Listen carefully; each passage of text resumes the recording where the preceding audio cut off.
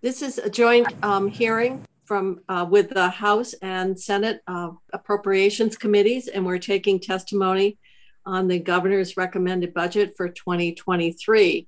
Uh, we have a timer on the uh, screen, two minutes. We recognize that's really short, but we have 50 people who wish to testify today. And the one thing that you can do is if you don't have sufficient time or you want to add more, you can always submit your comments in writing and uh, we will be sure to consider them. So at this point, I'm going to introduce uh, members of the two committees, and I'll start with the Senate. And I'm Jane Kitchell, and I chair the Senate Appropriations Committee.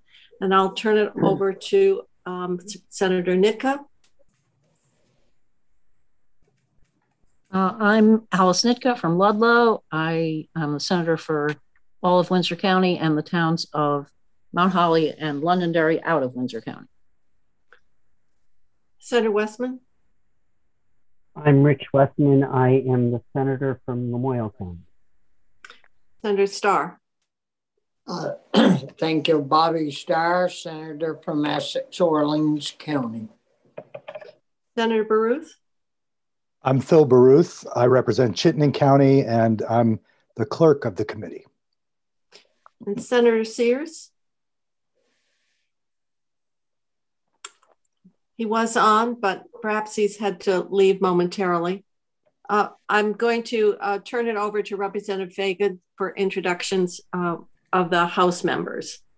Thank you, Senator Kitchell. So I'm Representative Peter Fagan. I'm Vice Chair of House Appropriations. My chair, uh, uh, Representative Hooper, is unavailable today, family commitments, and I'm going to go around the room.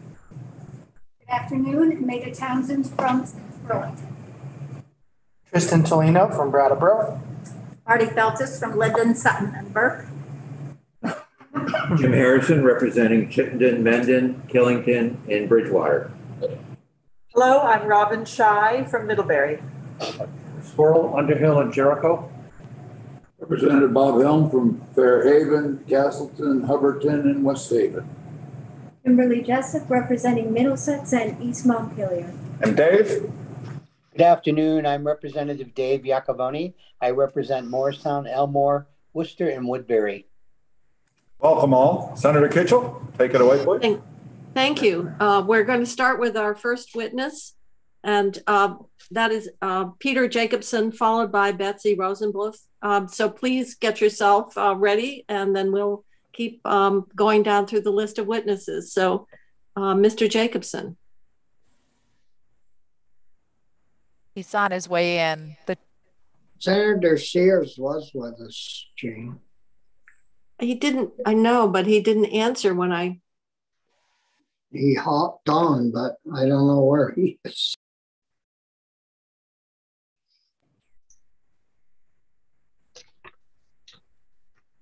Well, I can make an announcement. We expect to be joined by Senator Sears, who represents uh, Bennington um, District. Peter Jacobson is ready. All right. So, Mr. Jacobson, do you want to start your testimony, please? And the timer? Thank you very much. Thank you for having me, everyone. My name is Peter Jacobson. I'm the Executive Director of Vermont Cares, and I'm here today to testify on behalf of our work as well as that of the AIDS Project of Southern Vermont, the HIV HCV Resource Center, and the Twin States Network. Funding for HIV services and prevention hasn't increased in many years, Due to the pandemic and other acute needs, we need to request additional funds this year and beyond to adequately serve those we work alongside. We're also enthusiastically supporting funding requests that'll be coming your way from the Comprehensive Care Clinic of UVMMC, as well as Safe Recovery of the Howard Center. We've included suggested budget language with our written testimony to support this joint HIV funding request for care as well as prevention and harm reduction. For HIV care this year, we're, we're requesting an additional $390,000. Over the last year, our agencies have experienced a significant increase in clients living with HIV. And as a result, we have to enhance our case management to focus on client care, housing, and medication adherence. The AIDS Project of Southern Vermont um, specifically has asked for support to recruit and retain case management staff and to provide financial assistance to help clients maintain stable housing and access to nutritious food. Clients of the HIV Hep C Resource Center have been negatively impacted by COVID 19 through loss of jobs and housing cost increases. Requested funding would support financial assistance to help maintain housing and utilities, as well as increasing salary and benefits. Clients of the Twin States Network have increased, uh, experienced an intense sense of isolation due to the pandemic, and funding would increase uh, retreats and support uh, for those clients. For HIV prevention and harm reduction, we're requesting an additional $360,000. Over the last two years, Vermont's syringe service programs have seen an incredible growth of people. And over the next year, we anticipate seeing another 400 or so. Thank you very much for your time. Thank you. Um, Betsy? Hi. Oh, there she is. Followed by Julie Tessler.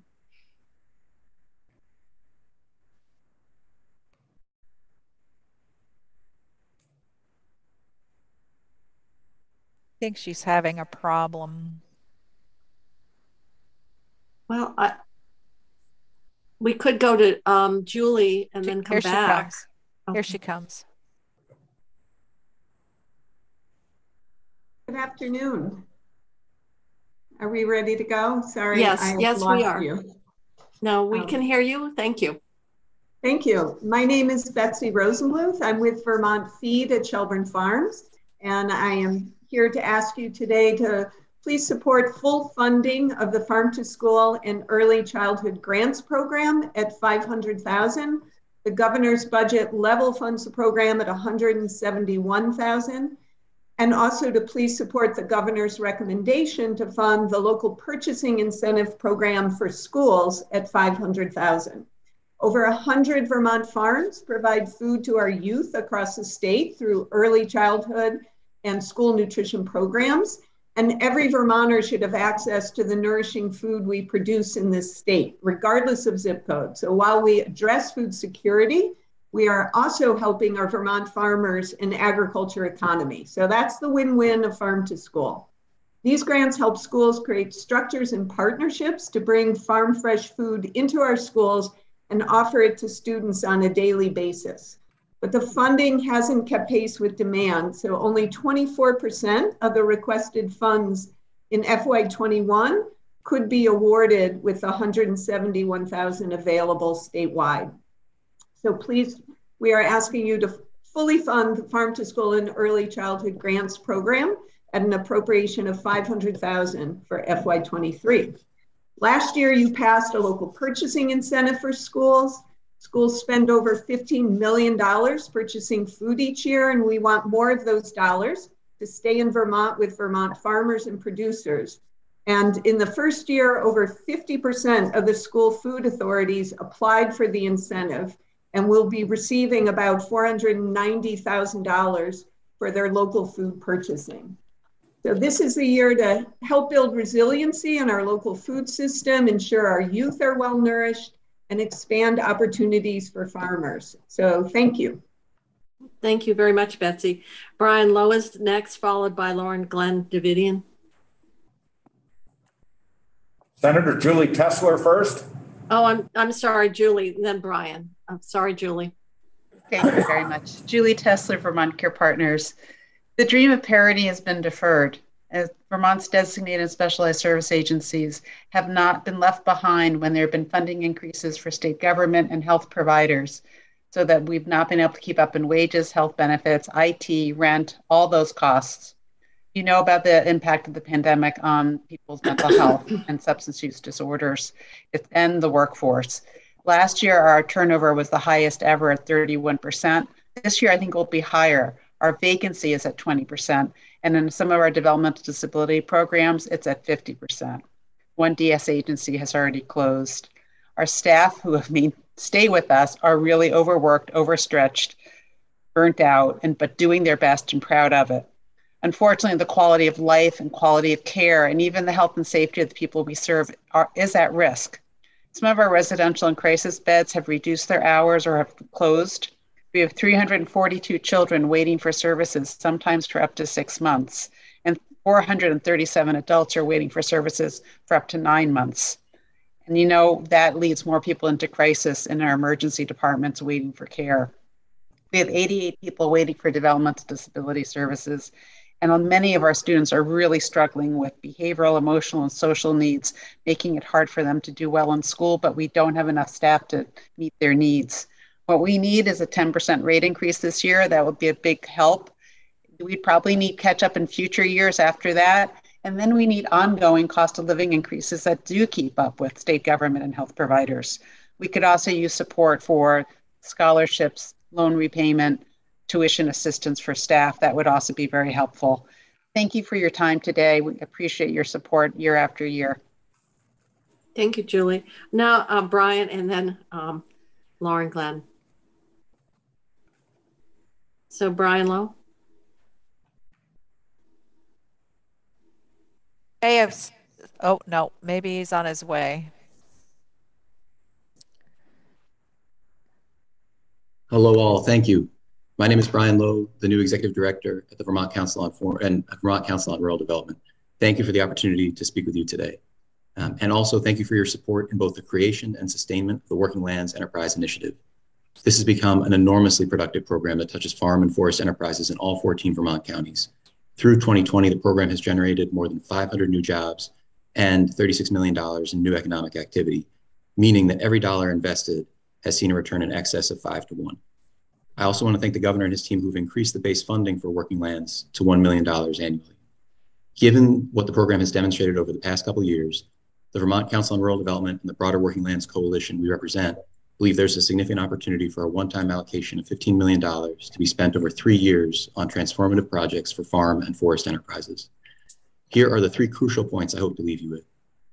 First, even with the tremendous action by the legislature to significantly increase the working lands allocation each of the last two years, there's still been significant unmet need. In FY21, the working lands was awarded an additional $3.5 million to address a total need of about 6.8 million, And in FY22, these committees took action recently to allocate an additional $2 million through the Budget Adjustment Act to a funding allocation that already exceeded 5 million. The current $1 million allocation for fiscal year 23 likely will not meet the viable need for the next fiscal year. Second, this is a proven practical program with a powerful and, and a powerful economic development tool.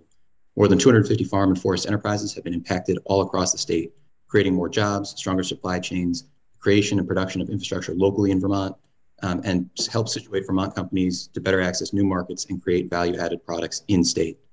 Lastly, this program has significant long term value to the state. As we come out of a pandemic that has underscored the value of sustainable food systems and supply chain risks, significant investments in our farm and forest enterprises will be money well spent. Thank you very much for your time. Thank you, Brian. Um, Lauren Glenn, and then um, Victoria Zolnowski, please. Good afternoon, Senator Kitchell and members of the House and Senate Appropriations Committee. I'm Lauren Glenn Davitian. I'm the Executive Director of CCTV Center for Media and Democracy based in Burlington, one of the 24 community media centers that are part of the Vermont Access Network. We very much appreciate your support for our $300,000 request in the budget adjustment to keep the wheels of democracy turning through the coverage of local meetings across the state, the building of hybrid community setups so that people can participate from all corners of their community and the state, and for the support of ongoing public education programming as well as um, open platforms for members of the community to stay connected on our 75 plus community media channels. As you know from previous testimony, uh, the funding, the cable funding for community media is declining with the growth of broadband and internet subscriptions, and the uh, expenses are increasing. In FY23, we are bringing forth a three uh, $600,000 request to make up this difference between the revenue decline and the increase in expenses. And this is part of a, a series of requests that we're making as a bridge funding strategy until we are able to work with the legislature to affect change in telecommunications tax policy and the way that public benefits like public access television, that is community media, is funded. I know that I don't need to justify our benefits. I think you are all agreed that what the services we offer are important and an essential service. So we welcome your consideration of our $600,000 request for the FY23 budget. Thank you so much.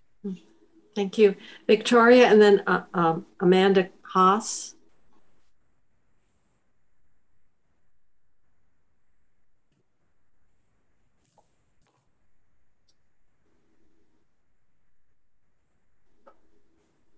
Trying to get her to unmute, but she is in the. There we go. Hello. Hello. We can hear you, Victoria. I undid. There we go. I'm sorry. I just had someone walk in the door, so I had to move. Um, first of all, uh, thank you very much for letting me speak today. And thank you for any consideration um, that you would give to the Vermont State College system. Um, I find it sad and embarrassing that Vermont is ranked in one of the lowest in funding of higher ed. And yet, I'm sorry, um, and yet we rank high in educational attainment, meaning that Vermonters pay out of their own pockets for their education. And I know a lot about this because I graduated from Johnson State College in 1986, and we were desperate for funding then. And I've been part time faculty at Johnson, now NVU, since 1987. And um, I think the issue of financial support for the Vermont State College system and employment, I don't think the governor needs to invite other people into the state. I think that money needs to go to the college system, and the cell towers are all tied together. If you live in the Northeast Kingdom, there isn't enough internet to connect to take online courses or take an online job. So, fixing the colleges and the cell towers will help with jobs greatly. Um, 82% of our students are Vermonters, and two thirds of our alumni remain in the state as Vermonters who pay taxes. Vermonters want affordable higher education, and that will help the state of Vermont um, keep people employed and paying taxes and benefit all of us. Thank you for your time. Thank you. I'm Amanda, followed by Stephen Pouliot.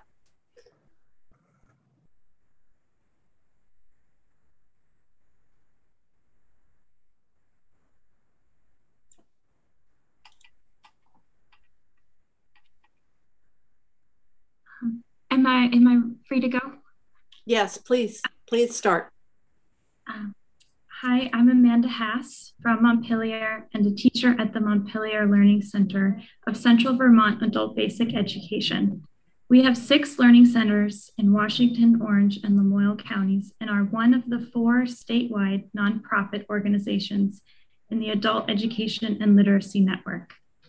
I'm here to ask you to support our network's request for an additional appropriation of $1.4 million for fiscal year 2023 to address both historic underfunding and ongoing expenses related to the COVID 19 pandemic. Our network serves Vermont's most vulnerable adults and teens who need help with basic skills and obtaining a high school credential in order to access other education and career opportunities. We know that increasing literacy, be it in reading, writing, math, or technology, will open up opportunities for students, including better jobs, furthering their education or developing new job skills, having a better family life, and being able to do basic tasks for themselves. For example, the immigrants and refugees to this state want to interact with the community and become useful citizens, but often they need help with conversation and citizenship, citizenship skills, as well as acquiring driver's license. We teach them English and help them acquire the knowledge and confidence needed to have successful integration into our society at no cost to them. Without those barriers for these students, they are able to become an active and central force, not only in their learning, but also in their own lives. Please support the statewide adult education and literacy provider network with an additional appropriation of $1.4 million for fiscal year 2023 to address our historic underfunding and ongoing expenses related to the COVID 19 pandemic. Thank you for listening. Thank you. Um, Stephen, and then Hal Cohen.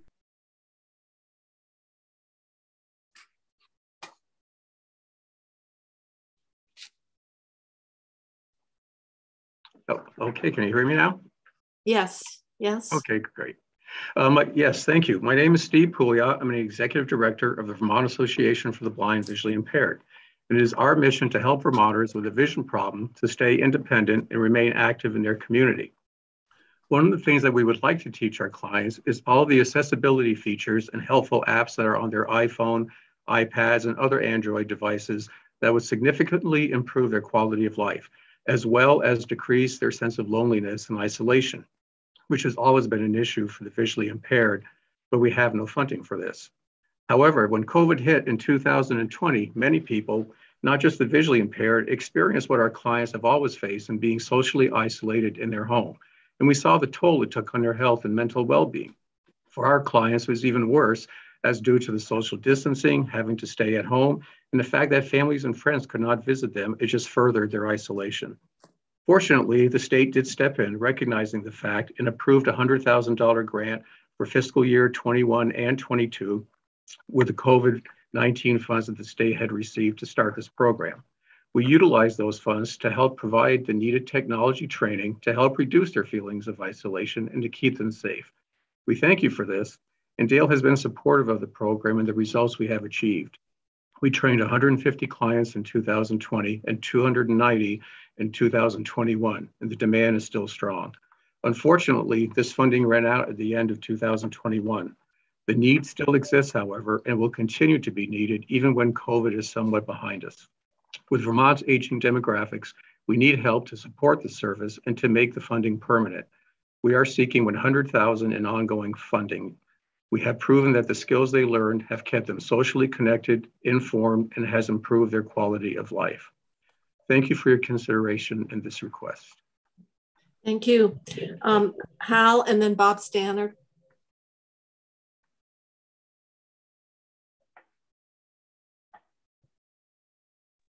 Okay, I think I'm in there now. Yes. Yes, you're in. You can start anytime.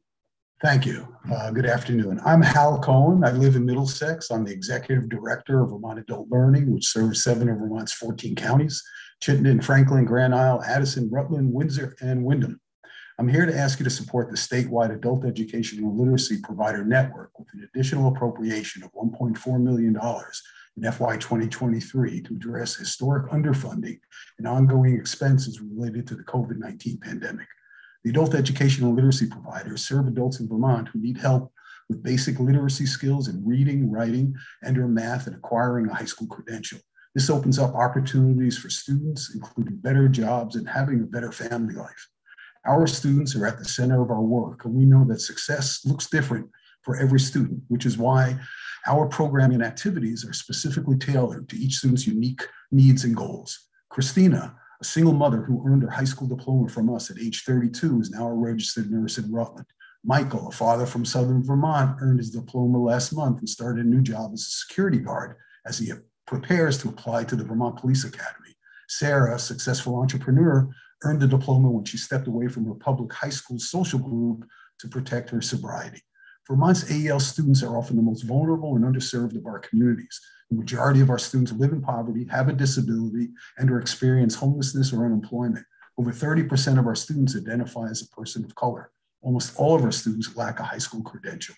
Our services in education and workforce development changes people's lives. An educated workforce is an employed workforce.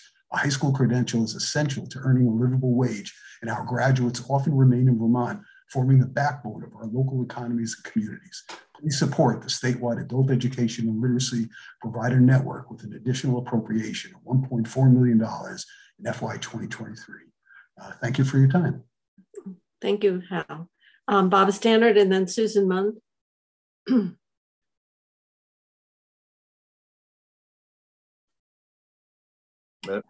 Can you hear me? Hello? Yes, we can hear you. Uh, Great. Uh, okay. I'm getting another message from you folks. Um, Well, now we okay. can see you in person. Before you had a Panama hat, hat and a cigar, Bob. So um, Oh, you can my start God. anytime. I apologize for the cigar. Nice to Mhm. see you folks again. Um, and Madam Chair, thank you for, uh, for conducting this, uh, hearing. Uh, for the record, my name is Bob Stannard. I'm a former member of the House. I spent four years of my life doing exactly what you're doing today, and I do appreciate the hard work your folks are doing. Uh, for the last 18 years, I've been a political columnist, and now I fish. I'm here today to speak in support of local access TV. Uh, I hosted a show uh, called Q&A Live from 2005 to 2013 for eight years. I took the show over from a fellow columnist, Don Keelan, who took it over from the show's originator, a high school student from Arlington, Vermont. The show ran for 15 years. Over the eight years I had it, I interviewed Jim Douglas, uh, Governor Jim Douglas, Congressman Peter Welch, Senator Bernie Sanders, New York Times columnist Paul Krugman, and martial artist Ron Van Clief, who starred in movies with Bruce Lee. But the guests were not important. The people who were important were the kids who helped me produce the show. Towards the end of my eight years of hosting this show, my director was a 10 year old kid, and his nine year old sister helped produce the show. A 10 year old kid. That kid is now grown up. He's married. He's very successful, as is his sister. And I have no doubt that his skills and experiences on working on this show has helped him throughout his life. I learned that many people uh, in the area watched this show and it was picked up by other local access TV stations. The simple fact is that in today's world, local access TV is oftentimes the best TV for many Vermonters. Local access TV is, a, is the adhesive that is holding our sense of community together. Please take whatever measures necessary to keep this important Vermont asset alive. And again, thank you for doing this. And it is nice seeing you. Rich Westman, you look just as young as you did 20 years ago. I don't know how you did it. Thank you, folks. Thank you. I, I was Um, a guest on that show, by the way. yeah, there and you you look as There young go. too. Um, Susan. Oh, he wouldn't say and that. and then Mark Hughes. Hi, my name is Susan Mund. Thank you for this opportunity. Please support the Vermont Food Bank with an appropriation of $6 million for fiscal year 2023, addressing ongoing food security needs. I'm here today to share some of my personal experiences. Take a walk with me. Take a walk with me today in the Northeast Kingdom, the town of Newport. I'm a resident in the Newport area and work with elders and disabled adults, providing support and delivery of food items shared with us by the Vermont Food Bank. We include items from the monthly Veggie Van Go. The level of joy and appreciation when I deliver palatable, healthful, nutritious food is overwhelming by my participants. Sometimes the question, what's for dinner, is not a part of the conversation. Rather, the question, is there dinner, becomes the discussion. Without the continued resources supplied by the Vermont Food Bank, and with the escalating grocery costs facing our homes, I believe the question, is there dinner, will become more prominent. Newport could, would benefit from additional resources, supplies, and nutrition education provided by the Vermont Food Bank. For neighbors, for families, and for the communities, please support the Vermont Food Bank fiscal year 2023 with an appropriation of $6 million to support and end food insecurities. Thank you so much for this time. Thank you for testifying. Uh, Mark Hughes and then Jennifer Fontaine.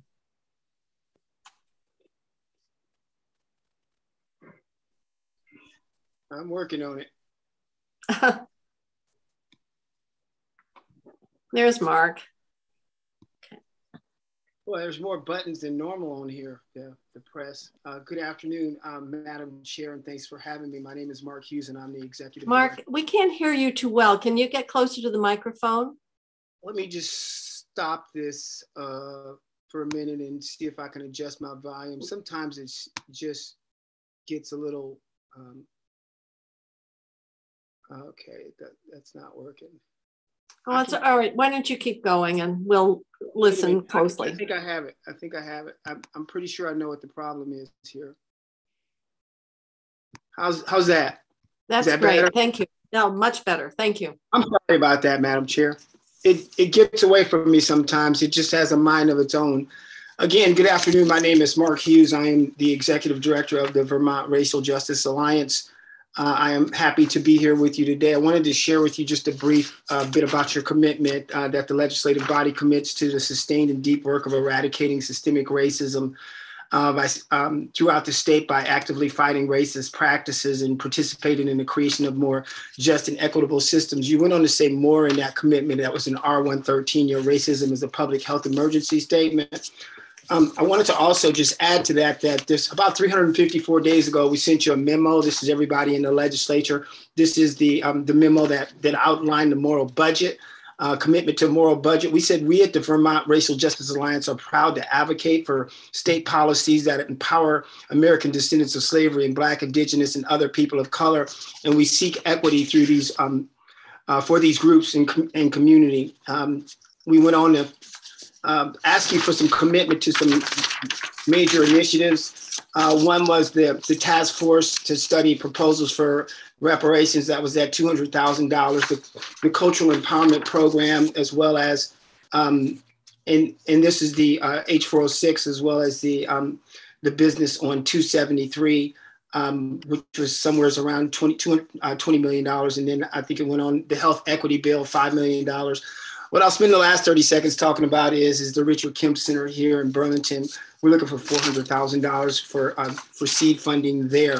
Um, the Richard Kemp Center, you know, personal and professional development, wealth development and management, um, business cultivation and support programming, community engagement and support.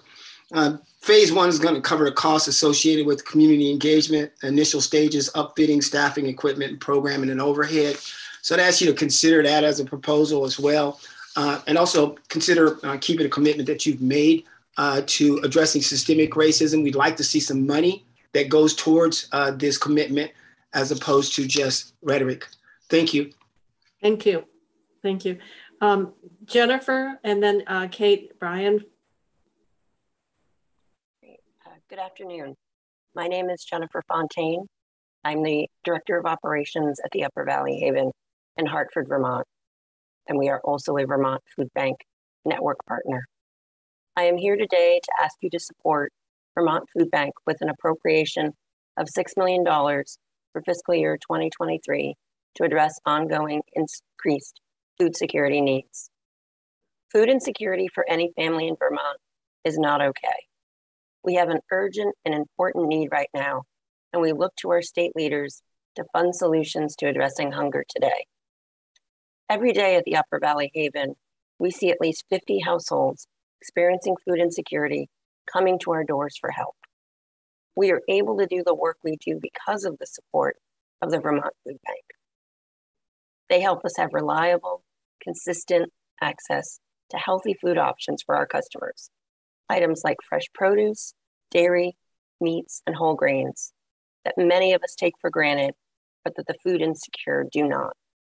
As we all face rising prices of everything from food to fuel, no one feels that pressure greater than those already struggling financially. Food is often the first thing cut from someone's budget. The food bank helps us provide a crucial safety net for people. Again, I ask that you please support the Vermont Food Bank an appropriation of $6 million for fiscal year 2023 to address ongoing increased food security needs. Thank you for listening. Thank you. Kate Bryan is next, and then Kate Warner um, is after the, after the second Kate to testify.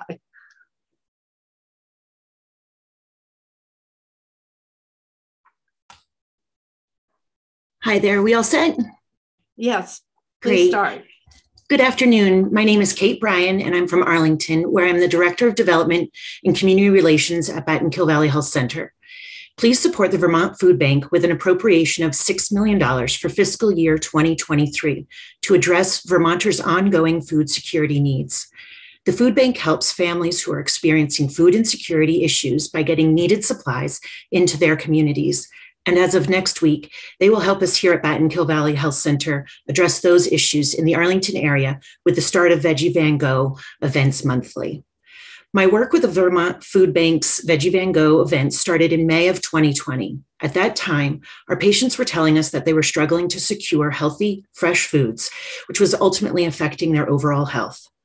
I won't pretend to know all of the food security straight, uh, struggles that face Vermonters, but I will would like to share a few that I see locally as proof of ongoing food security needs. At my first Veggie Van Go in Bennington in 2020, we provided food to roughly 300 families. This past December, we served 500 families. Our Help Yourself shelf here at the Health Center, which consists of non perishable foods, is available to all patients and replenished every two weeks with nearly 200 pounds of food. That's over 5,000 pounds annually. And the number one reason our patients say they can't follow a healthy diet is that they can't, that consists of fruit and vegetables as part of their care plan, is it's just too expensive. The Arlington area consists of a population of, really, of roughly 2,800. We have four convenience stores offering necessities, often at increased price points, as their availability is just that a convenience. None of them carry fresh vegetables or fruits. We truly live in a food desert with the nearest grocery store 13 miles away. At Battenkill Valley Health Center, we believe that food is medicine. The health of our patients, who happen to be my family, my friends, and my neighbors, depend on having access to healthy options that are provided through the Vermont Food Bank initiatives. Bringing Veggie Van Go to Arlington would not be possible without them. Again, I ask you to support the Vermont Food Bank with an appropriation of $6 million. Thank you. Thank you. Um, Kate Warner and then uh, Tina Spots.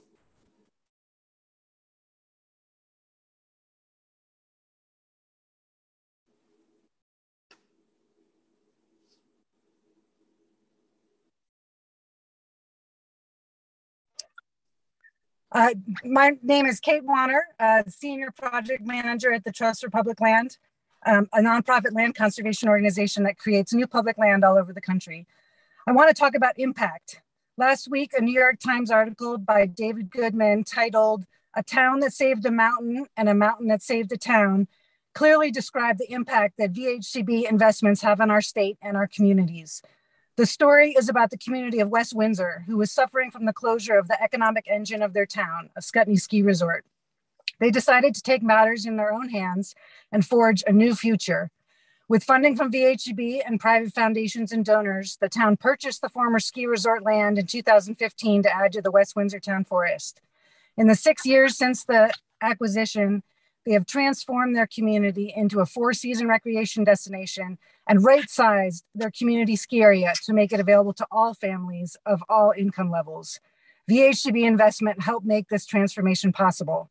Now is the time to fully fund VHCB at its full statutory share of 35.2 million. Receipts from the property transfer tax have increased dramatically due to the volume and high prices of real estate transactions the past two years. This reflects greater threats to our farms and forests and higher prices for land. That is why the legislature originally tied VHB funding to the property transfer tax, so the funding would increase in concert with increased pressures on the land. If VHB were to receive $15 million in general funds, as the governor recommended in his budget, conservation would receive roughly 6 million. This is le less than what we received last year and less than what is needed to meet increased costs. We expect real, real estate costs will continue to rise as more people move to Vermont attracted to the quality of life that VHB has worked so hard to protect. This is the moment VHB was meant for, to prevent the irrevoc irrevocable loss of working and natural lands. Given the long-term trends, it's important to reset VHB to its statutory imperative now. Thank you. Thank you. Uh, Tina and then Claire Kendall. Hi, I am Tina Spots, the nurse from Otter Valley Middle and High School from Rutland Northeast Supervisory Union in Brandon, Vermont. Thank you for the opportunity to share with you today. I'm here today to ask you to please support the Vermont Food Bank with an appropriation of 6 million for the fiscal year 23 to add, address ongoing increased food security needs. Otter Valley has been operating a Veggie Van Go free produce distribution in partnership with the Vermont Food Bank for just about a year.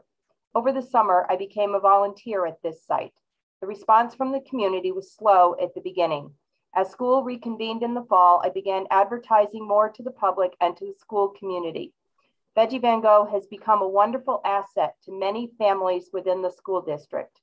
When I heard that the hours were not convenient for working people, that's from 10 to 11 in the morning, the food bank and I worked together to ob obtain grant money and arrange bus transportation for shares to be taken to the five district schools, Otter Valley, Lothrop, Barstow, Neshobe, and Leicester. We supply these schools with about 120 shares to be distributed. At least two programs use the shares to do cooking in school programs. This has allowed students to be exposed to fruits and vegetables they typically don't have, with a plus that they are involved in the preparation as well as eating them. A couple of comments from people who have used the program. Veggie Van Go is a great program and I hope it continues. It has encouraged me to eat healthier and to try new things. It also is a great savings. Produce is not cheap. Another parent claimed there is excitement each time about what daddy will bring home and then learning about how to use the veggies, for example, parsnips. This has created interesting interactions and conversations with my young children regarding food products, healthy eating, cooking, farming. A lot of value for the program that just within these conversations. It has also taken a bit of burden off our grocery bill. Losing such a program as this would be unfortunate on multiple fronts. Parents have started making soup with many vegetables and have said how much their children like the soups. Veggie Van Go has been a huge asset to the Rutland Northeast Supervisory Union community. Please support the Vermont Food Bank with an appropriation of 6 million for fiscal year 23 to address ongoing increased food, food security needs and continue to support families like the ones in my district. Thank you. Thank you, Tina. Claire Kendall, please. Good afternoon. My name is Claire Kendall, co-director of the Family Center of Washington County. Thank you for the opportunity to testify, and thank you for your ongoing support and for your service on behalf of Vermonters. My request is to fully fund the Parent Child Center's essential work with families and young children. Our request for PCCs is to increase the base funding by 1.5 million for a total of 4.8 million in the PCC line in the FY23 budget and a second year of 3.7 million one-time funding to address the needs of families with young children due to the COVID pandemic. This appropriation is in S91 and is a very important part of the bill. PCCs deliver critical and essential state services to families with young children throughout integrated contracts and grants with DCF. The impact of the pandemic on the mental health and well-being of families has been significant. The loss of connections due to childcare disruptions, school interruptions, and the loss of community-based social interactions has resulted in increased isolation, anxiety, and depression throughout our communities. PCC has used ARPA fund COVID relief dollars to provide families with immediate critical needs. Throughout COVID, PCC has made sure families we work with across the state have access to goods and services that address a family's needs, such as food, housing, clothing, healthcare, and childcare. We have diaper banks that give out thousands of diapers, wipes and formula, and food pantries, providing food and other basic necessities to families. Throughout the pandemic, PCC has made our mission to provide critical supports to parents and children. Parent child centers provide parents with the knowledge, skills, and resources they need to care for their children. We work to strengthen families and the communities across Vermont. Children do well when their parents do well. Thank you again for your time today and for your dedication and services during these challenging times. Thank you, Claire. Um, Katja Evans and then Anne Galope from Newfane. Good afternoon. My name is Katja Evans, and I'm the Community Relations Coordinator at Gifford Healthcare in Randolph, Vermont. Gifford Healthcare is a community partner of the Vermont Food Bank, working closely to provide healthy and nutritious food through our monthly Veggie Van Go events. I'm here today to ask you that you please support the Vermont Food Bank with an appropriation of $6 million for fiscal year 2023 to address the ongoing food security needs faced by Vermonters. The pandemic has placed a tremendous strain on individuals and families. As recently published data by UVM food systems researchers show, Vermont continues to see increased levels of food insecurity compared to before the pandemic began. At Gifford, we witnessed this firsthand at our monthly Veggie Van Go drive-through event, which has been serving an average of 535 families each month during the pandemic, compared with 260 families before April 2020. The demand has been so high, in fact, we added an additional monthly Veggie Van Go event where we distribute produce directly to vulnerable patients and community partners through our community health centers. We are now distributing food to more than 700 families per month. We are able to meet the overwhelming need of our community because of the ongoing support of the Vermont Food Bank. As someone who volunteers to distribute food at these events, I hear time and again the positive impacts these events have on people. They are so thankful supports like this are available conveniently in their community. This is why I'm asking you today to support the Vermont Food Bank with an appropriation of $6 million for fiscal year 2023 so that the work to address food insecurity right here in Vermont in our own communities can continue. Thank you very much for your time and consideration. Thank you. Anne, and then um, Jill Arace. So Senator Kitchel, um, yes. For some reason, the room has disappeared from the Zoom, so you're not in communication with Representative Fagan or the committee anymore. Um, Ann Golub is not here, so I'm going to Jill Arace. Mm-hmm. But they are listening here. Okay. All right. Jill, we'll go to you next. Um, Jill, are you able to see the timer? trying to unmute her. Jill, unmute yourself. There you go. Thank you, Jill. You can start. Can you see the timer on your screen? Um, not really because I'm reading from my screen, but I think I'm pretty good. okay. All right. Well, we'll let you know. Um, okay. Thank you. Actually, thank you know, you. I have a little stopwatch here. I'll set that and that'll help. Okay. Good afternoon. I am Jill Arace, Executive Director of the Vermont Association of Conservation Districts. I live in Waitsfield in the beautiful Mad River Valley. Thank you for this opportunity to speak with you about VACD's appropriations request on behalf of Vermont's Natural Resources Conservation Districts. I've provided you with a detailed version of our request, which I will summarize here, as well as a link to our 2021 annual report so you can learn more about conservation district work.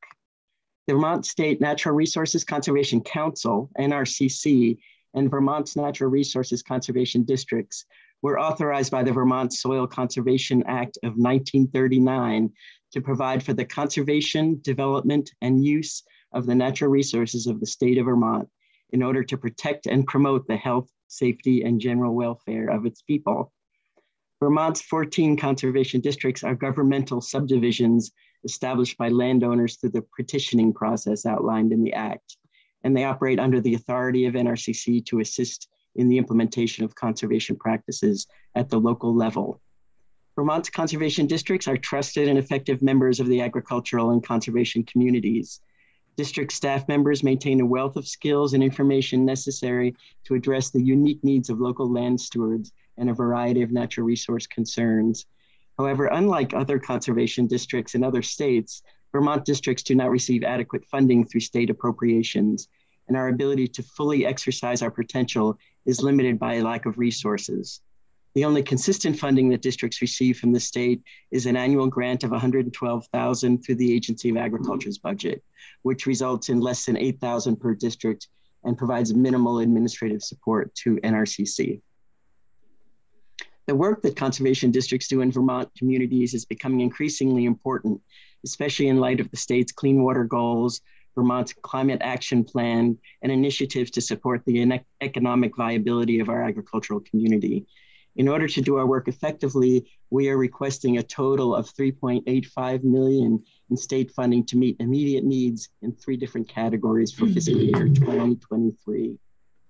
We are requesting 2.1 million in one-time funding for a three-year agricultural resource specialist program, uh, 1,388,000 in base funding to increase district score budgets, and 248,000 in one-time funding for immediate equipment and capital improvement needs. Thank you for listening and thank you for your consideration. Thank you. Um, our next witness is Samantha Green, followed by Jane Van Buren. Hi, thank you so much for receiving my witness testimony here. Um, my name is Samantha Davidson Green, and I'm joining you from Hartford, Vermont at CATV Community Access Television. We're the PEG Access Media Center serving the Upper Valley, including the Vermont towns of Norwich, Hartford, and Hartland. I'd like to revise my comments a little bit on the basis of Lauren Glenn's and Bob Stannard's wonderful comments that I think make the case and help me know how well you on um, the both the House and Senate sides understand the critical function of the PEG access stations as well as um, the funding circumstances that we are facing. Um, but I would like to join my colleagues at the Vermont Access Network and the 24 PEG stations in making a request for your support for an appropriation of $600,000 in fiscal year 2023. Um, you know, as elected officials, the critical function of local media in connecting local government with um, communities, especially during these crisis times. And you also have great evidence here of the work of all of these organizations that have just blown my mind listening to these other testimonies. And one of the things that we do is act as the glue for all the great work that people are doing to serve the public good in Vermont.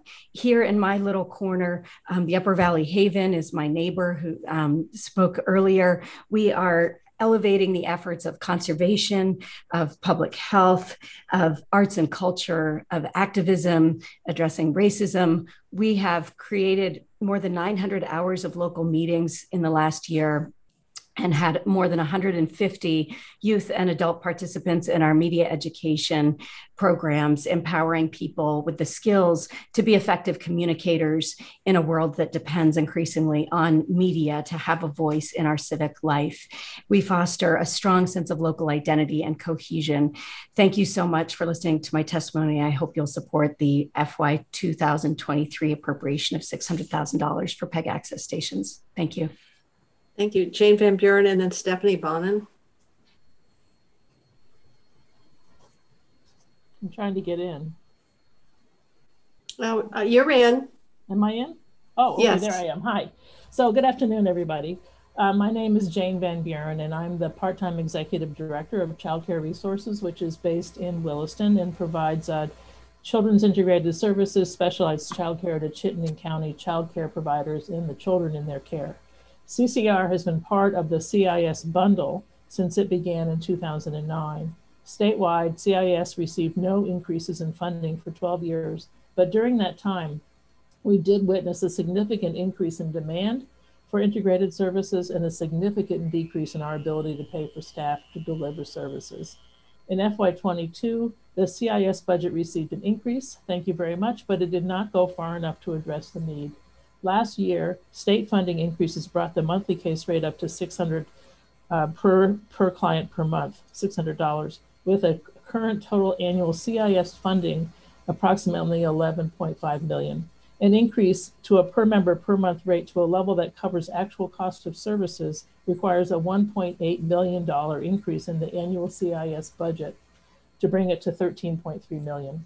In FY23, we are asking for full funding to bring the CIS case rate to $700 per client per month. What would that mean for families, children, and children in childcare? As you know, there is a severe staffing shortage in the childcare industry in Vermont. That, coupled with COVID, has stretched the resilience and capacity of providers and families. At CCR, we have seen an increase, particularly in the past two years, of young children being expelled from early care for challenging behaviors which means children must take time off from work, and more importantly, nobody, the provider, the family, nor the child, receive the support they need to move forward. Funding for funding fully funding CIS would translate into an increased capacity to prevent traumatic situations. I urge you to fully support, uh, fully fund CIS for Vermont's children and help reduce the consequences of childhood trauma in adults. Thank you very much. Thank you. Stephanie and then Chris Hardy. Senator Chris Hardy had to leave. Oh, okay. Um, then we'll, after Stephanie, Ms. Elise Shanbacker. Hi, I'm Stephanie Bonin. I'm the executive director of Downtown Brattleboro Alliance and also one of three on the leadership team of the newly formed uh, Vermont Downtown Coalition. I'm here to ask you for your support of Vermont downtowns. There is, on any given moment of the day, you can see me working on things like hand in hand with a business owner, trying to figure out putting a shopping cart on their website, or scheming and planning um, and fundraising around Gallery Walk, which is essential for us to hold up our creative economy here in Southern Vermont. Or I could be working in partnership with Boys and Girls Club in distributing Everyone Eats Meals, which we're still distributing 3,000 a week. So we do all of this in the downtown organization world because we know that the health and vitality of our downtown is really the weather vane of our community. And our community is the weather vane of our town. And then it ripples to the entire state. So the program was established in state statute in 1998 to create these downtown programs. However, the ACCD downtown program has never been funded by state dollars. And so our essential work suffers from a lack of funding. And we're asking you all to fund the downtown organizations in the amount of 485,000 and that's $20,000 for each of the 23 downtown groups and 25,000 for the Vermont Downtown Coalition. I think that this pandemic has underscored the importance of community like we've never seen before. And this investment would support the success and, and the vitality of our community centers, which are really just such a precious resource for us. So thank you for listening. And I hope that you'll support our funding request. Um, thank you very much, Stephanie. I'm going back to Chris. Oh, not. I'm going to Chris next, and then Elise after Chris. Yep.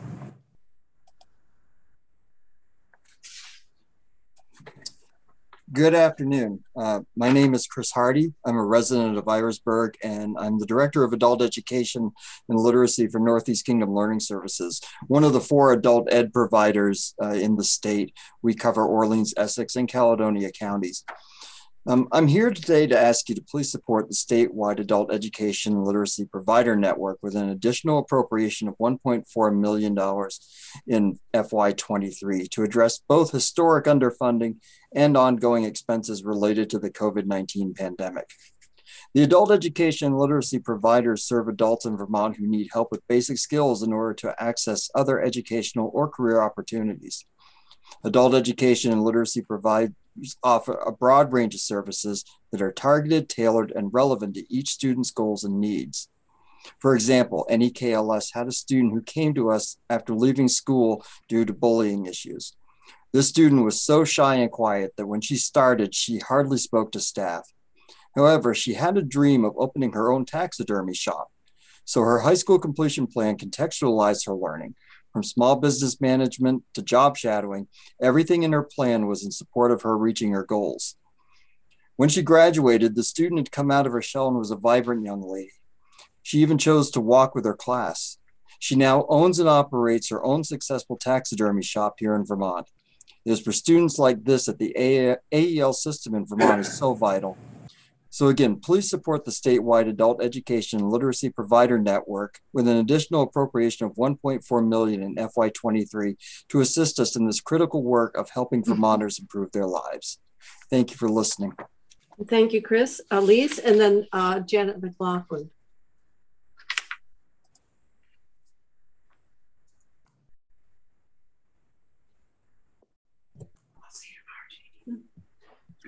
Hi there.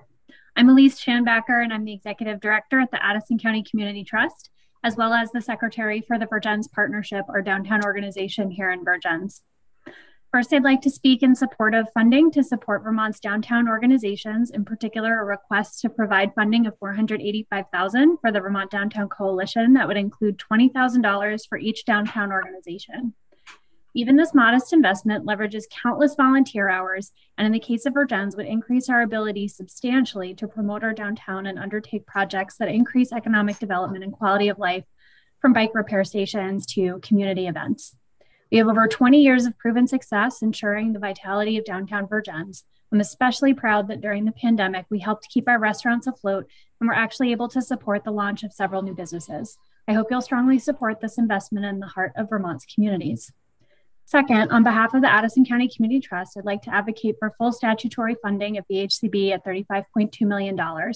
Flexible VHCB funding will allow Vermont to leverage hundreds of millions of dollars in federal funding for housing, money that we risk leaving on the table if we don't provide adequate capacity to VHCB.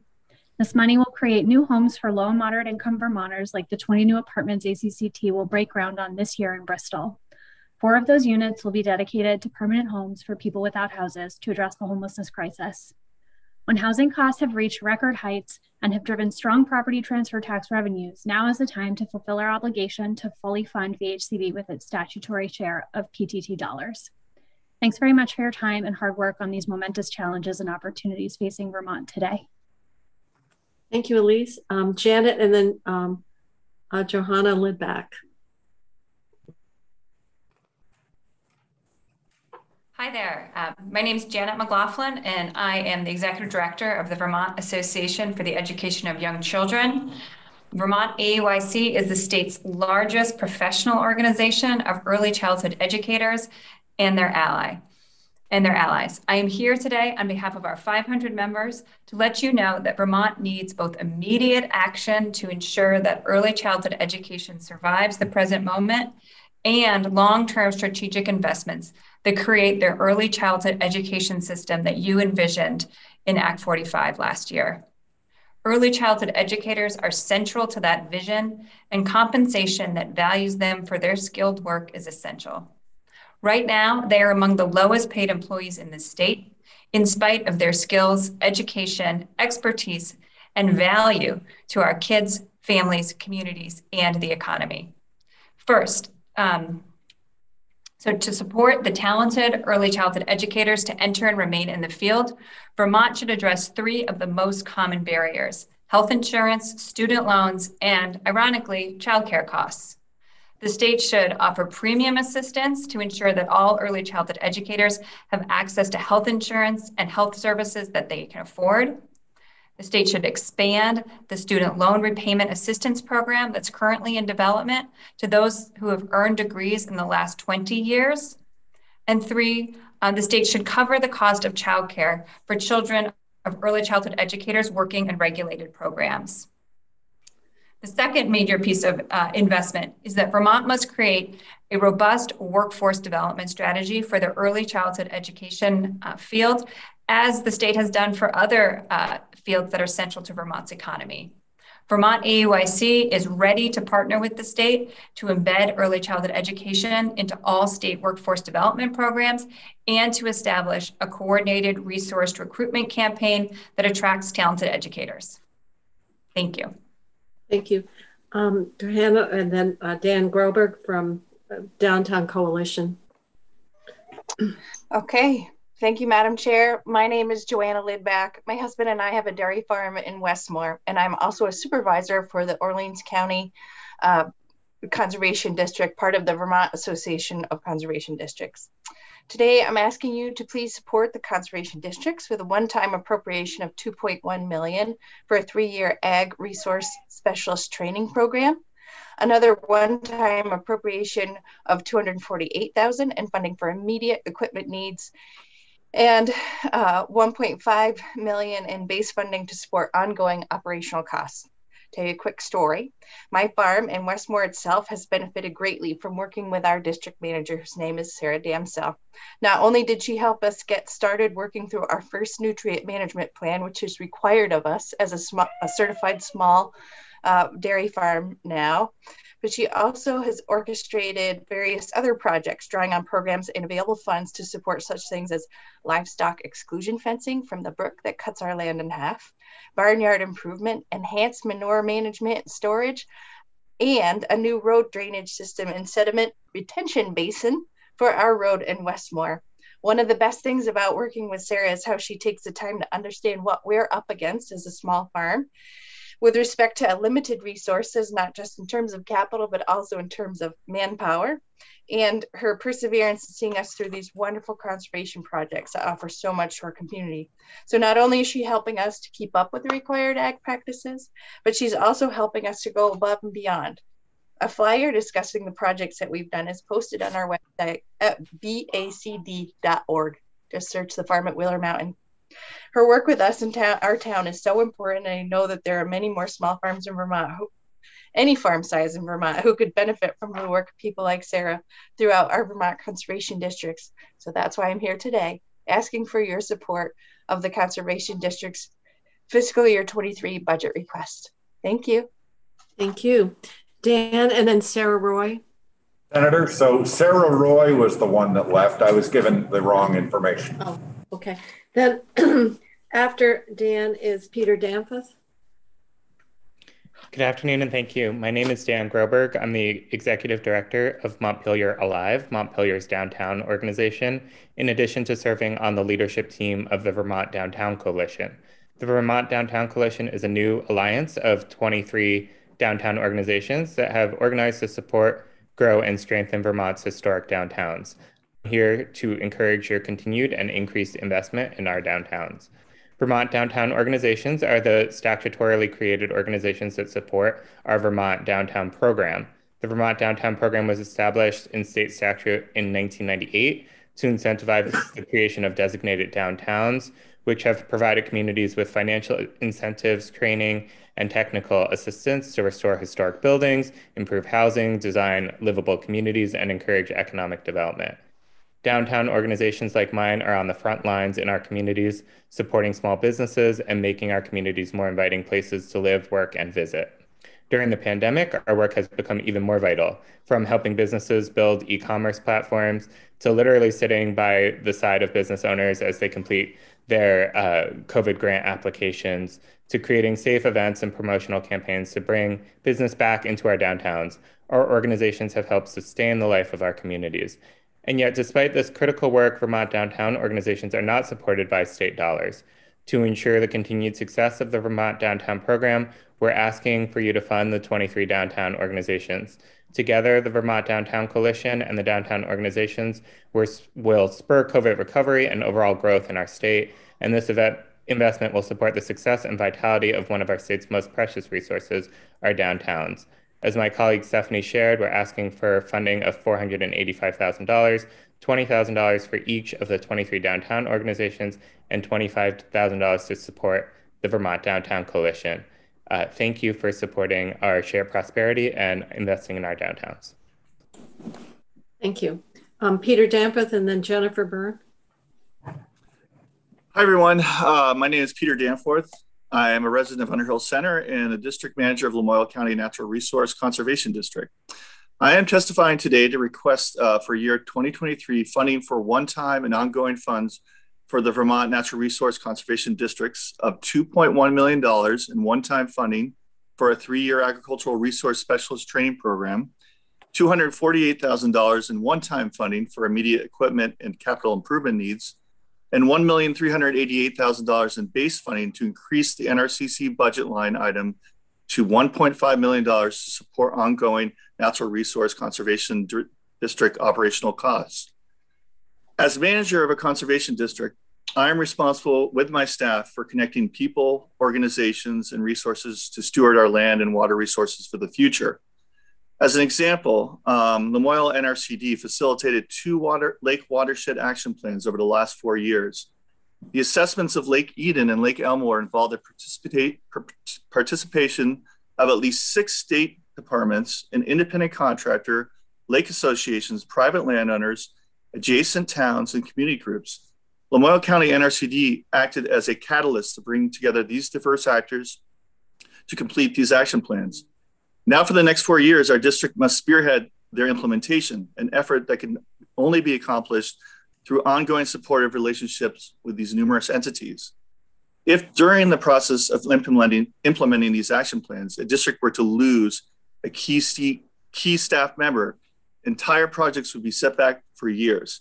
Our conservation districts are currently funded at levels that do not promote longevity and staff retention. Our state relies on healthy, long acting organizations to implement essential conservation and clean water projects, which is why we are requesting this FY 2023 appropriations request. Thanks for listening. Thank you. Um, Jennifer and then Eric Avildsen. Thank you so much. My name is Jennifer Byrne. I am the district manager of the White River Natural Resources Conservation District. We cover Orange and some of Windsor County.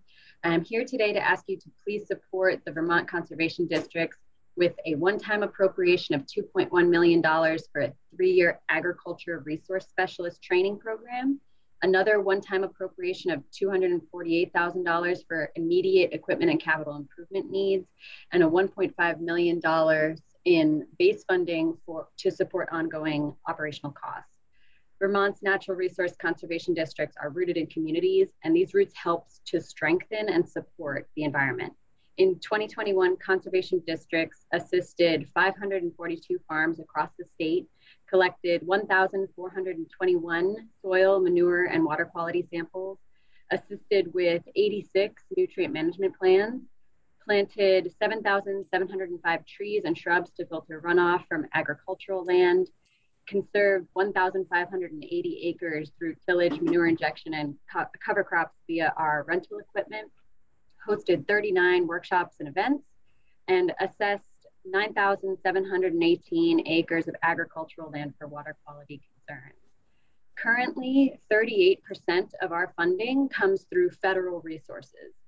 With appropriations, we will easily be able to leverage the state appropriation as match funding to bring in even more federal conservation dollars into Vermont please support the conservation districts with this one-time appropriation of 2.1 million for our three-year agriculture resource specialist training program, the one-time appropriation of 248,000 for equipment and capital improvements, and 1.5 million in base funding to support ongoing operational costs. Thank you so much for listening to and considering this. Request. Thank you. Um, after Eric is Walter Medwood. Eric? Yes, can you hear me? Yes, we can hear you and we can see you. Good. My name is Eric Avildsen. I'm the Executive Director of Vermont Legal Aid. I know that many of you are already familiar with Vermont Legal Aid and the work that we do. I've testified in front of the appropriations committees many times with essentially the same message. State funding for Vermont legal aid services to low income Vermonters has been unchanged for many years, and that will not change unless the legislature directs AHS to increase the funding level. It is the unfortunate reality that because we are sometimes representing Vermonters in proceedings against the state, AHS has never viewed its role as responsible for ensuring the adequacy of our funding. Thus, I must turn each year to this committee to either restore a proposed cut or provide for a cost of living or other increase. Legal Aid has received a grant from the Secretary or Central Office of AHS for almost 50 years. That grant directs us to represent low income Vermonters in civil cases as well as everyone in the state facing commitment or involuntary medication. Last year, the legislature tra transferred responsibility for mental health matters in criminal cases from the public defender to Vermont Legal Aid. The, the state also provided an additional $250,000 to help us co cover the cost of hiring two new attorneys to do that work. However, those funds, however, the funds available to help low income Vermonters in civil cases has remained unchanged for seven years. This can be starkly seen on the graph I included in my handout, where it shows that there has been no increase at all in our core funding since state fiscal year 2016. Since the pandemic began, calls to our hotline and requests for help have doubled, now are more than 20,000 a year. While we are grateful for the targeted stimulus related grants we have received, those funds are directed to responding to very specific legal problems, such as non payment of rent or mortgage foreclosure. They cannot be helped to use us help answer the hotline generally, represent domestic violence victims, or help people whose unemployment, unemployment claims have been wrongly denied. We respectfully ask you to direct AHS to commit an additional $150,000 in general funds and the intended federal match to bring legal aid back to the funding level in 2016. Thank you. Thank you, Eric. Um, Walter, and then after Abby, of course.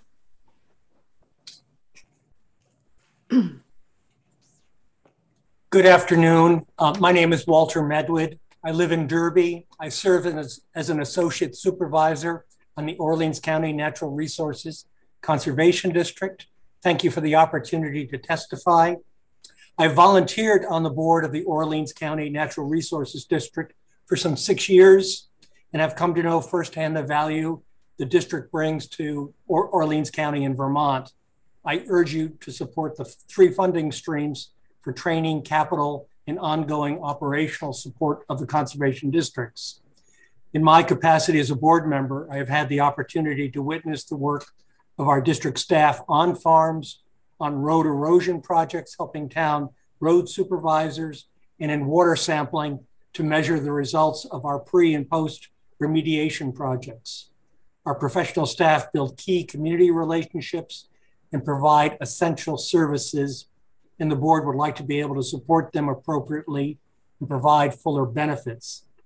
The districts serve as local critical catalysts in helping farmers, towns, and private property owners navigate the paperwork, paperwork process and most importantly, deliver results on the ground. Districts also navigate for farmers, towns, and citizens the funding sources to make conservation projects become reality. The work is vitally important to our land and waterscape. However, districts are under great pressure to sustain the great work being done. That's why this funding request is so important. I urge you to support these requests. I know firsthand that each dollar granted will translate into multiple dollars worth of project deliverables that help conserve our land and waters. Thank you for your consideration of my comments. Thank you. Abby, and then uh, Jess Phelps. Good afternoon. Thank you for having me here today. My name is Abby Corse, and I live in Whitingham, Vermont. I am testifying today in support of the Natural Resources Conservation District's funding requests for fiscal year 2023 of 2.1 million in one-time funding for a three-year agricultural resource specialist training program, 248,000 in one-time funding for immediate equipment and capital improvement needs, and 1.5 million in base funding to support ongoing needs. I'm speaking in my capacity as the farm and forest sector representative to the Vermont Climate Council and a co-chair of its agriculture and ecosystem subcommittee. We find ourselves in a moment where strategic investments in climate change adaptation and resilience efforts are critical. To quote from the Climate Action Plan, the strategies that the state of Vermont must take to secure the health, resilience, and benefits of climate adaptation in natural and working lands include critical investments in the upfront costs of proactive implementation of adaptation practices, research and training to support land managers in making climate informed plans and decisions, greater support for floodplain and riparian restoration efforts, and enhanced protections of biodiversity. In an amazing opportunity, funding the NRCD in this way would mean that work towards all of the above goals could be sustained and enhanced. The NRCD has already done so much incredible work to capacitate and resource landowners, farmers, and citizens, in addition to building long lasting relationship with their communities, which I'm certain you all very well understand to be the underpinning of how good work is done. Farmers, in particular, of which I am one, are a notoriously tricky lot to reach, but the NRCD has already begun successful work in this regard. These folks are ready to get boots on the ground, roll up their sleeves, and continue working towards our shared goals of adaptation and resilience. They just need the funding to do it. My gratitude to you all for your hard work on behalf of Vermont citizenry, and my hopes that you will deeply consider our funding request. Thank you. Thank you, Abby. Um, just after Jess, Ernest um, Caswell. Good afternoon. My name is Jess Phelps. I'm here today as a board member of the Vermont Land Trust. Vermont has many affordability challenges today. And it's not just families seeking to get access to affordable housing, it's farmers seeking to get access to farmland. And I think we're fortunate in Vermont to have the Vermont Housing and Conservation Board that addresses both issues and views them as being linked. The cost of farmland has risen beyond the reach of many seeking to get access to farmland, and this crisis threatens our unique quality of life, our cost of living, and if not addressed, potentially leads to irreversible loss of farms, forests, and other natural resources. I've worked a fair amount with farmers seeking to get access to land and in many instances, without the funding of the VHCB, it would have been very difficult to fill the gap between sort of the fair market value of those assets and the land value that they were able to pay. There's a robust pipeline of conservation projects that could benefit from full funding of the VHCB at its statutory level, and I ask that you consider that request. This is important not just for the affordability and sustainability of VHCB and the conservation projects that it carries out, but it also can accelerate land protection efforts, affordability efforts, enhance climate mitigation efforts, and strengthen farm businesses in our rural farm economy. Thank you for your time and considering these requests. Thank you, Jess. Ernest and then Pam Lads.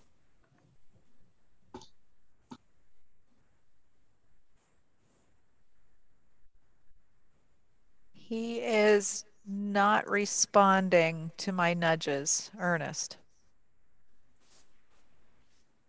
Well, we could go to Pam and come Oh. back. Wait, here he comes.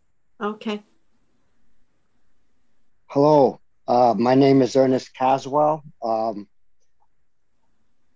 I grew up in uh, Randolph and uh, four-year agricultural student. Uh, work in agriculture all my life, including full-time, and I'm a member of the Vermont Affordable Housing Coalition. And I would please uh, support and fund um, farm worker housing projects that will be coming out of uh, the Vermont Housing and Conservation Board. Uh, they're working on uh, new projects there. Um, farm worker housing affects so many Vermonters. Everybody in agriculture is affected by affordable housing and deserves a safe home. And building homes on the farm, repairing and improving present farm worker housing, and building homes off the farm for farm workers um, is very much needed. Agriculture is sits on top of the capital, and the symbol of agriculture sits on a home, and the home of all Vermonters and everybody in agriculture, farmers and workers, they need safe homes. And we all deserve a safe home. And please fund VHCB fully, completely, and support building homes for everyone in agriculture and repairing homes. If Maine can do it, other states can do it, New York can do it, many, many states. Vermont can too. So please support our agriculture, support VHCB, and support organizations and so on that will build affordable homes on and off the farms and support our agriculture community and link the two affordability of homes and agriculture. Our Thank you. agriculture is a big industry. Thank, you Thank you, for your Mr. time. Thank well, you very thank much. you, Mr. Caswell. Um, Pam and then uh, Patricia uh, Tedesco. Thank you for being willing to listen to my comments today. My name is Pam Lads. I live in Newport. I'm happy to see that Bobby Starr is sitting there today because I'm talking in his backyard. My comments are a little different, a little less specific than some of the others you hear today. And I'm not asking for direct dollars. What I'm asking you to do is to look at the state of Vermont in a different way. I'm not asking for money to be taken away from vital services, but that you support the requests that focus on clean, safe water. It's impossible to deny now that climate change is a reality. And although there could be a discussion about how we got to this place, there's no doubt that human activity or non activity has contributed to it. We live in a state that's been defined as green, and that apparently means very little, although it certainly pulls in tourists and those fleeing from COVID and other unpleasant realities of this decade. As the state grows in number, that's going to increase demand on existing water, clean water, and the solid waste infrastructure. The scarcest resource in the world is water, and that's one thing we cannot live without, and yet we continue to poison it, regardless of the impact that that has on our daily living and on future generations. Any of us with children and grandchildren would like to leave the world in a better condition, not worse, and to increase lifespans and prevent diseases. However, if we don't do things differently, that's not going to happen. We've poisoned water with forever chemicals, heavy metals, pharmaceutical products, storm runoff, agricultural runoff, petroleum products, plastic, plastics, etc., etc. And our solutions have been tokenistic swipes at individual pollutants, such as PFAS in ski wax, as opposed to banning the entire class of more than 9,000 individual chemicals. Of course, we should do what we can individually, but that's inadequate. And as long as lobbyists funded by the industries polluting have more leverage than citizens, that will be hard to change. Those of you sitting today are in a really difficult position. You're expected to have a vast knowledge of diverse subject matter and to make far reaching decisions that will impact all of us. Of course, you rely on experts, but many of those are foxes, not chickens. And you are expected to make decisions based on very little information at least not from those of us living in the areas impacted. There's only one working landfill in the entire state of Vermont. It's privately ho- owned, beholden to its shareholders, not those living in the vicinity or the rest of the state. It's located. thank you. Please Thank submit the rest of, please submit this in writing so that we can read it. Thank you. Thank you. Um, and the timer is there, and so um, we hate to cut people off, but we have uh, a number more witnesses. So um, if we if you run out of time, um, please feel free to provide additional testimony in writing. So uh, Patricia, and then we have Christopher Wiersma from Vermont Access Network. Good afternoon. Thank you for being here and thank you for taking our testimony today. You see behind me a map of Vermont that's integral to the work that we do. Patricia Tedesco with the Home Access Program at the Vermont Center for Independent Living. I am a resident of Woodbury, Vermont. And as you most of you know, our program is statewide. We're a cross disability rights organization. We work with folks who have disabilities and in the, specifically in the home access program, they must have a physical mobility disability. We are asking today for you to support full funding, statutory funding for Vermont Housing and Conservation Board. That is our primary funding resource. And uh, I've also supplied a packet of information with some stories and photos. I uh, believe most of the House Appropriation Committee has seen similar packet um, from last month's testimony. I wanted to read you a small story that we have from a gentleman in Franklin County who got a ramp. And his, his story is such Before I received the ramp, I had to stay in the house 24 7. Now that I have my ramp, I can go for a walk with my grandson. If someone doesn't know about the Vermont, uh, Vermont Center's home access program, I would tell them this is the best program ever. What's kind of cute about this, if you look at the packet, is the gentleman uses an electric wheelchair, but he considers going for a walk with his grandson. And that's what we do. We help people live independently, remain in their homes so they don't have to go to a nursing home. We appreciate your time and consideration. And if you have any other questions, you can always reach out to me by email or phone. Thank you for your time. Thank you. Um, Christopher and then Maria King. Hi, thank you so much. Um, my name is Christopher Wiersma. I live in Montpelier and serve as the project coordinator with Vermont Access Network and the community engagement manager with Orca Media in Montpelier.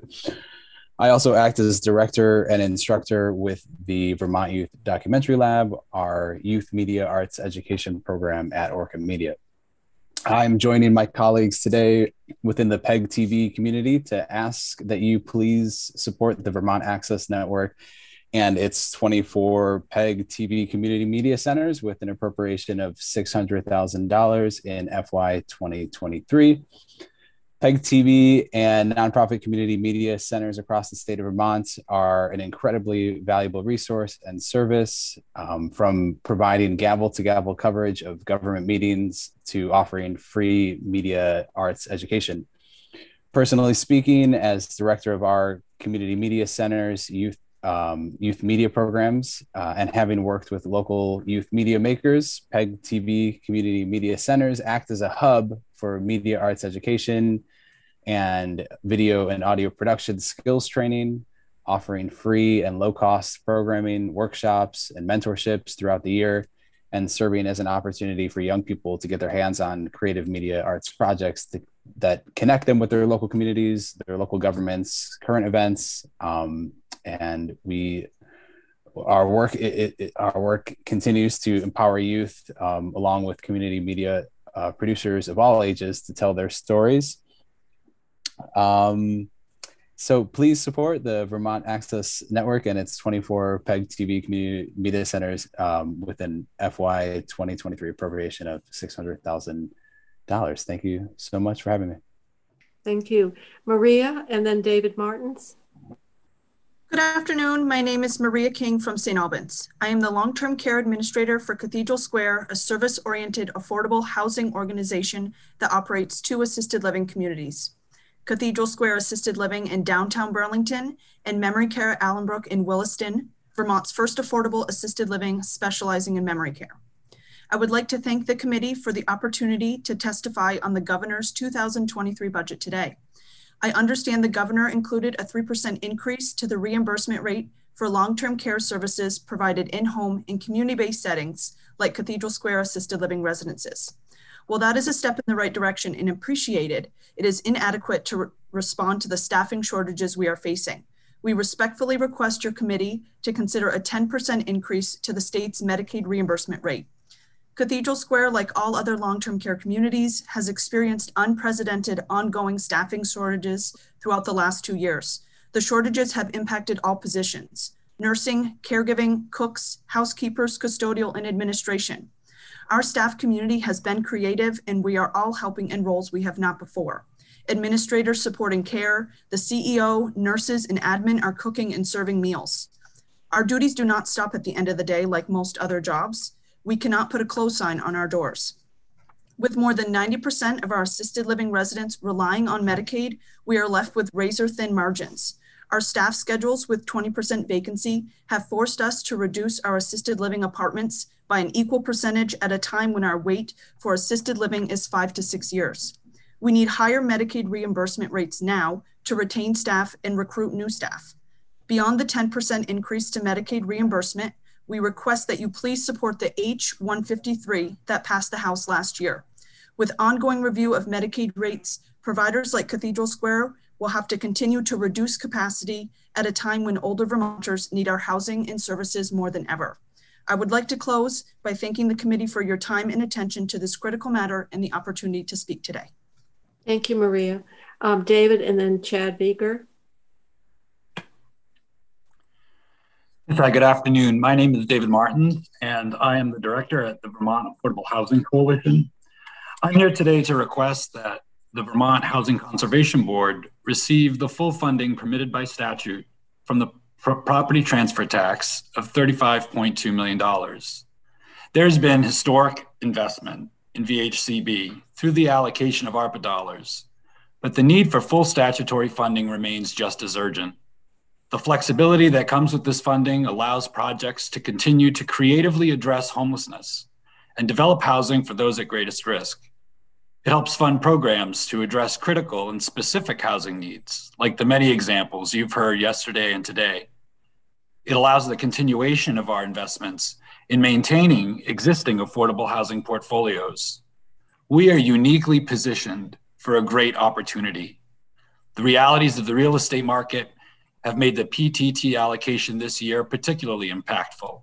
And when combined with the unprecedented opportunity before us in ARPA funding, we have the chance to make a solid investment that would bring about a significant impact in meeting our housing needs in Vermont.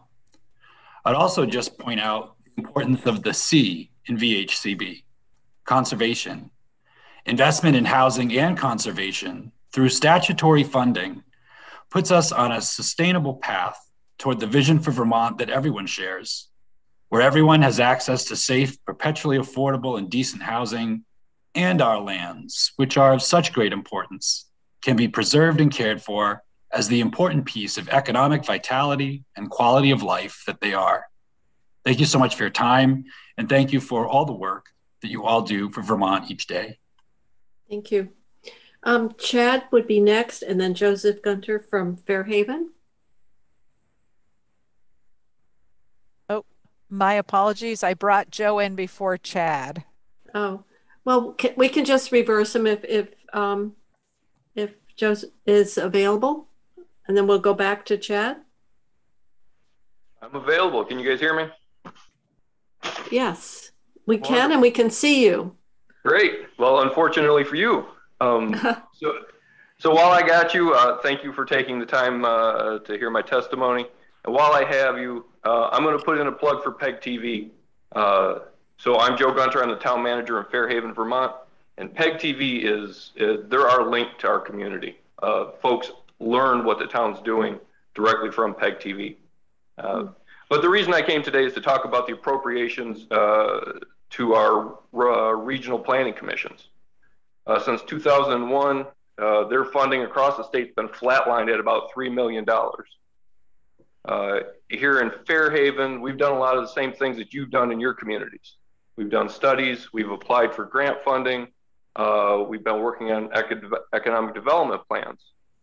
All of this work um, is directly supported by our regional planning commissions. Uh, as a small town, we couldn't do the work we do without these commissions. Uh, they provide us with resources that would not otherwise exist. They give us information and data on transportation, on uh, accidents and fatalities, the things that help make our decision making uh, more accurate and easier. And they give us the information that can uh, make our applications for federal grant funding that much stronger. Uh, so today I'm advocating for an increase in funding to the, our regional planning commissions. Um, it'd be nice to see if that, that number bumped up to about $4 million. Um, that would go a long way to help not just Fair Haven and the smaller communities, but all of our all of the communities in Vermont. So thank you for your time today. Well, thank you. Um, now we'll go back to Chad. And then Pat Kilgore would be next. Greetings. Uh, thank you to the members of the House and Senate Appropriations Committees for hearing me today. My name is Chad Vijay. I am the CEO of Recovery House, which includes Serenity House and Grace House substance use treatment facilities. I have submitted written testimony for your review, but I wanted to share um, our goals with this request. As a small nonprofit substance use treatment facility entering our 50th year of serving Vermonters, we have had tremendous difficulty with the impact of COVID and the current workforce crisis, including nursing, counseling, and support staff, to the point of having to limit capacity and temporarily discontinue alcohol detoxification services we have reached a point where we need to improve our rate of pay in order to continue to be competitive with in recruiting staff and retaining them. With a larger, stable staff, we will be able to resume alcohol detoxification and increase the utilization of our facility, effectively increasing access to Vermonters in need. As you'll see in my written testimony, a reimbursement rate increase of 20% as well as funding for recent lost revenues due to COVID and staffing in the amount of $220,000 will help us in reaching these goals. Uh, thank you for your consideration. Thank you, Chad. Um, go to Pat Kilgore and then Shelley Henson. This is Pat Kilgore. Yes. Oh, yes. We can hear you. Okay. Uh, this is Pat Kilgore, and I live in one of the Cathedral Square buildings in South Burlington, Vermont, called Allard Square. We're one of the newer buildings uh, that Cathedral Square has built. Um, I'm speaking to you today, and I do thank you for the opportunity to uh, testify. I'm speaking to you as a person, as in my 70s, a, a senior citizen who found herself about three and a half years ago in a situation where I was retired. I uh, the place where I lived had outpriced me with uh, their annual monthly uh, rental raises, and I found myself alone and scared and didn't have the money to move any place because I couldn't have come up with a month's first month's rent and so forth and so on. And I feel like the priorities today for scared senior citizens and and I'm only speaking about us, even though there's children out there in need too, uh, that um, food and shelter is such a priority. And even though we have affordable housing, there are hundreds and hundreds of people on waiting lists waiting to get in who are equally as scared as I was. And I thank you for your time today uh, and for the opportunity to speak.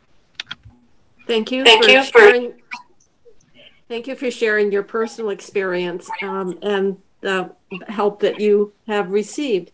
Um, so uh, we'll move to Shelley Henson and then Shawn Tester. Thank you. Mhm.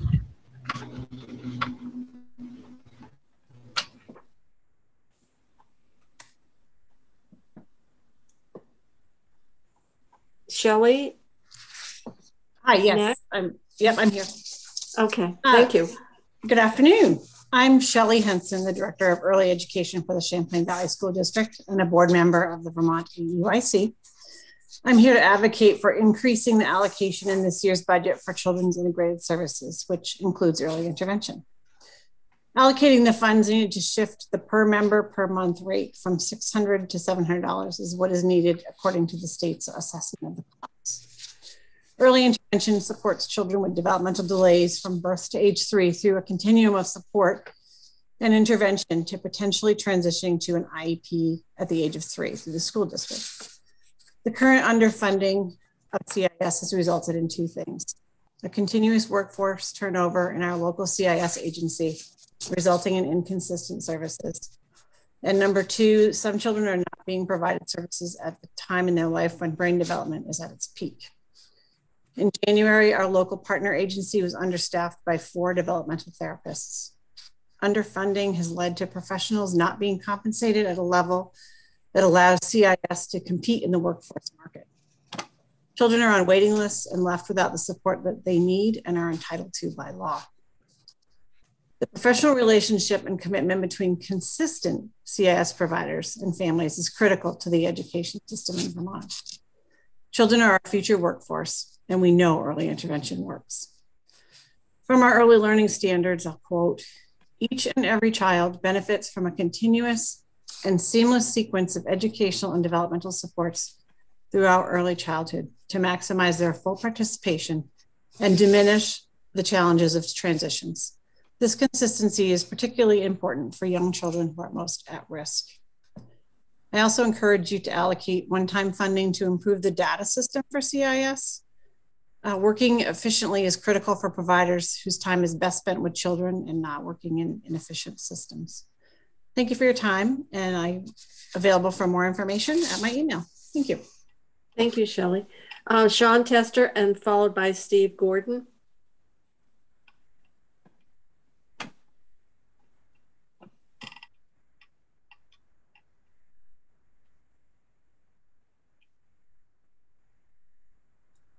There we go. Hi, folks. Nice to see you today. Um, so I'm speaking to you uh, as CEO of NVRH, which is among the largest employers of the Northeast Kingdom, but I'm also speaking to you as a trustee for the Vermont State College System. That's why I'm here today. I want to thank all of you for everything you've done for the Vermont State Colleges and all the money you've invested over the last two years to help us transform and stabilize the system. Right now, the Vermont State College System needs $55.4 million in state support this year. That's 48 million in annual base appropriation and an additional 7.4 million in bridge funding. When it comes to increasing the state support for the for the base funding, a $12.5 million increase in the annual appropriation as recommended by the select committee brings the VCS to an annual appropriation of the 48 million. We support the governor's recommendation of a $5 million increase to the base appropriation, but more funds are necessary to meet the needs of the system. Bringing this appropriation to 48 million will ensure system viability, increases the capacity to adapt to changing conditions and student needs. We also need to provide the bridge funding necessary to address the structural deficit while the system transforms.